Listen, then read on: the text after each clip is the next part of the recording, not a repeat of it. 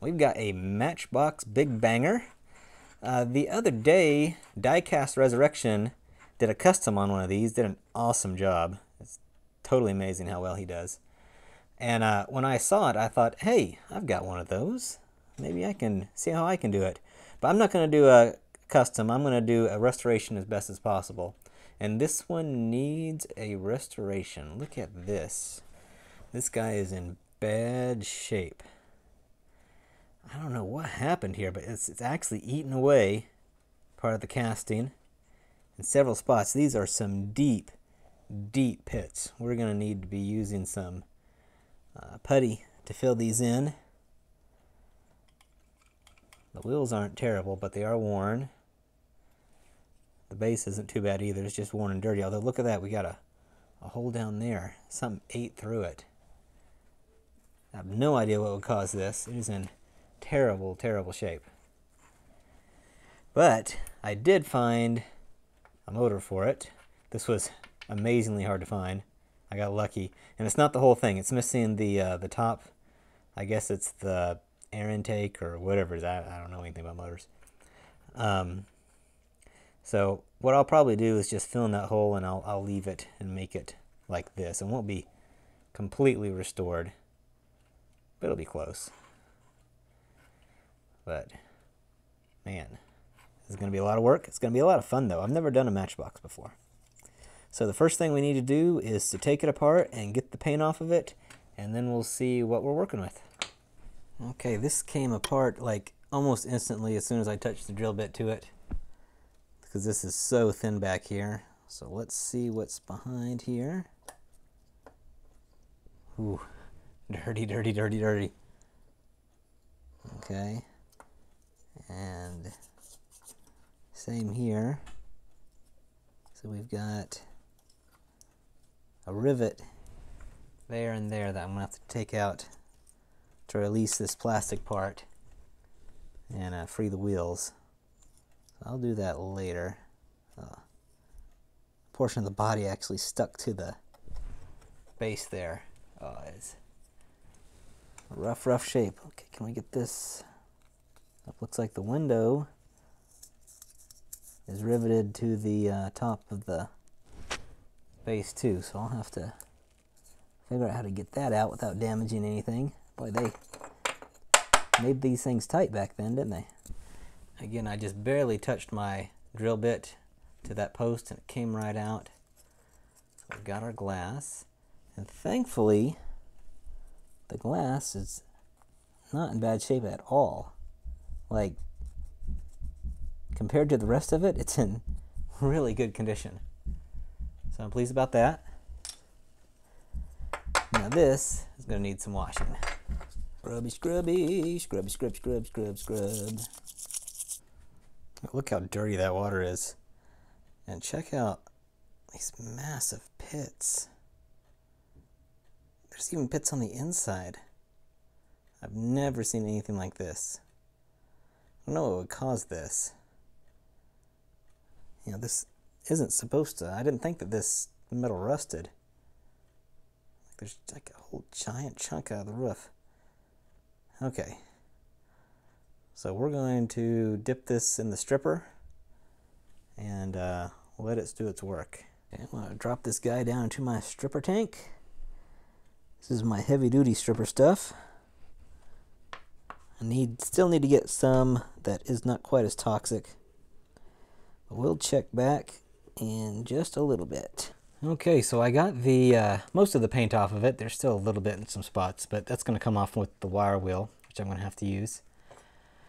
Tell you that stripper that I've been using, I'm I'm going to use something else. It is too too powerful, I guess. It burnt through my gloves and burnt my finger a little bit. Um, a little scary. It kind of damaged some of the uh, finish on some of my tools because it accidentally got on it, and the other strippers have never done anything like that. So I'm only going to use that stripper for really severe cases. But anyway, um, it did do a good job on this. Although look at these, look at those pits. is almost through the body right there. So I'm going to hit this with a wire wheel and then sand off the high spots and then we're going to have to look at doing some body work on this guy. Vroom, vroom, vroom, vroom, vroom, vroom, vroom, vroom, vroom. Yeah, I know you're sick. It's going to be okay. Don't worry. Okay, I've sanded this up as well as I need to right now because I'm going to be using a lot of body filler on this anyway. And look, we did have some pitting that went all the way through the body in several places. So this is probably going to take a couple applications of body putty. Well, that's okay. We're in for the long haul here. So I'm just going to use the uh, Tamiya putty, or Tamiya, however you say it. I don't know how to say it. I've used it once before, and it worked really well.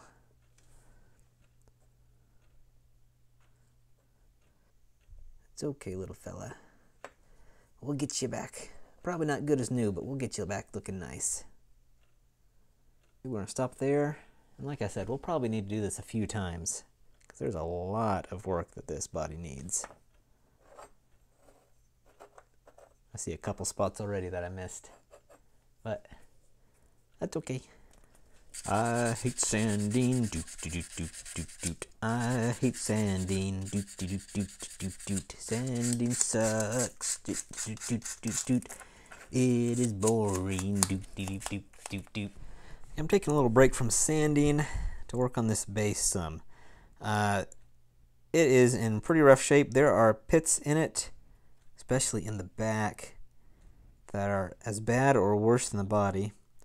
And they're going to be difficult to repair because unlike the body, which is going to be painted over, this isn't going to be. So I have to figure out how to do that to the best of my ability. A uh, wire wheel, I'm afraid, would, would take off too much. So what I'm going to do is I'm going to try the old lime out uh, treatment. Drop it in here. It's basically a hydrochloric acid. It should eat away at the um, the rust and the corrosion. Leave the metal behind if I get it out soon enough. I think that's going to be my best bet, especially for getting all these little crevices and stuff. And it's kind of a gamble, but uh, it's one that I'm willing to take. I'm just going to drop this bad boy down in here.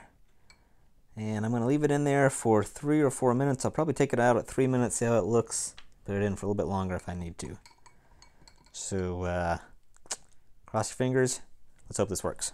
Okay, let's see how we did here. Whoa. Wow. Yeah, that worked.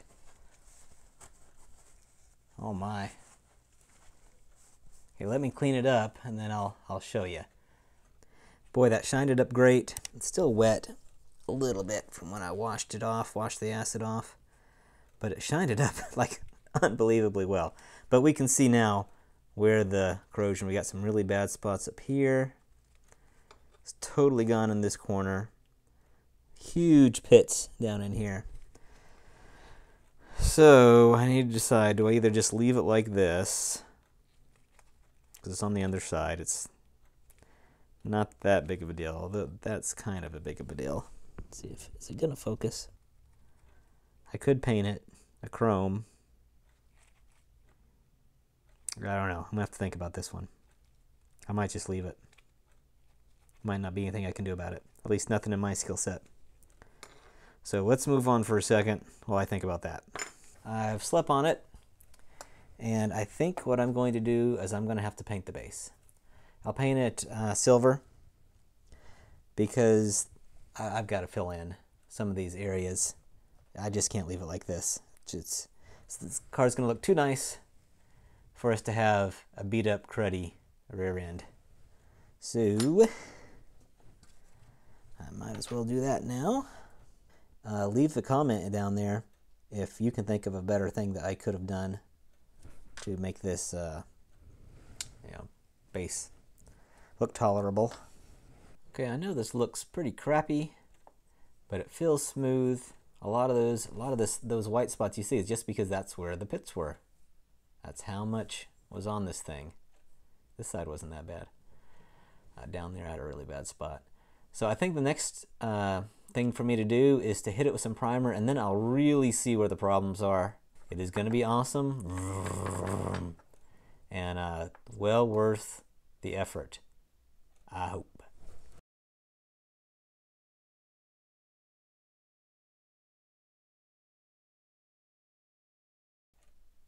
Started having people ask me what supplies I'm using, and this is a uh, Molotow liquid chrome pen. You can find these just about everywhere. Pretty easy to find. Amazingly shiny. Almost too shiny.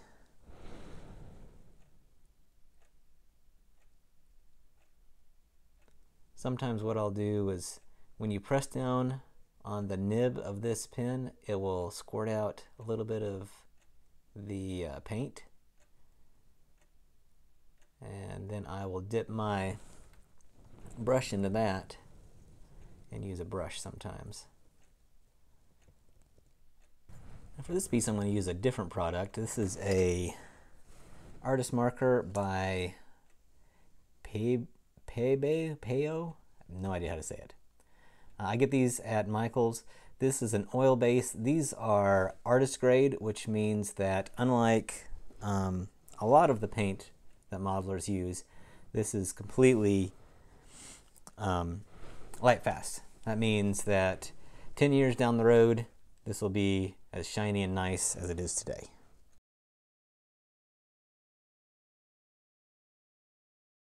Well, the uh, Tamiya putty was not strong enough to bridge that gap. So I'm going to go with some good old JB Weld. It's good stuff. And I've created kind of a dam with this piece of tape. Oh, you can't see it there. I've created a dam with this piece of tape that will, um, that the JB Weld should sit back in and conform to.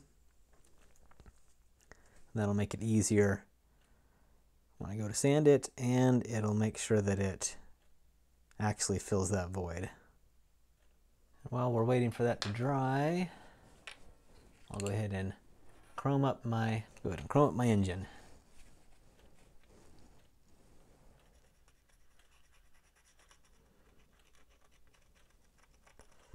Okay, so our car just arrived from the body shop and uh, it looks okay. I mean, it's obviously not perfect and you can still see plenty of spots where there's some pits showed through that I didn't quite get uh, sanded in and the, the paint isn't super, super shiny and glossy and smooth. It's because it was just so so rough underneath with so much problems. Uh, I think a lot of this will be fixed with a clear coat, but we'll just have to wait and see. But anyway, it's a whole lot better, definitely presentable. And I made some vinyl stickers. Originally, this had stickers on the side. They weren't uh, decals. And I made some decals, and I thought, uh, let's, let's try and go as original as possible. So I made these vinyl stickers. I used my wife's uh, Cricut cutting vinyl machine to make them, so it was a lot of fun. Okay, now I made two sets, so if I mess up, it's not the end of the world.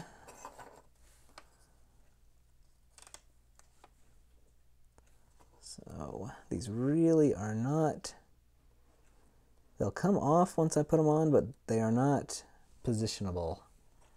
Yeah, I'm gonna have to change the focus of this camera here.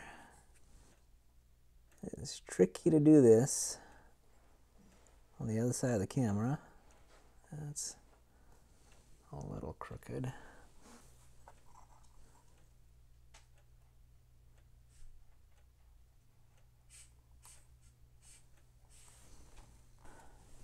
Not bad at all. Not bad. I mean, I know it's not perfect and original, but if you look at all these different cars, and I looked at tons of pictures, these stickers were never ever put on the same way. Each one was slightly, slightly crooked, slightly different. So I don't feel too bad if they're not in there, you know, some perfect way, because I don't know if there is a perfect way. But it's coming together. I'm going to clear coat over all of this, though. I think I'll do that next. But now I think what we need to do is put this all together. So this is what I've been waiting for. I have to use glue here because these rivets are pretty much impossible to replace.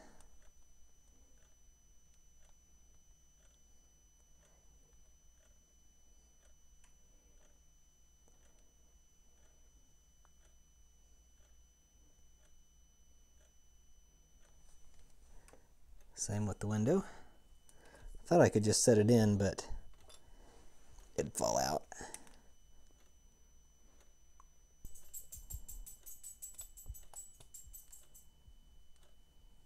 And now for the icing on the cake, the Jumbo motor.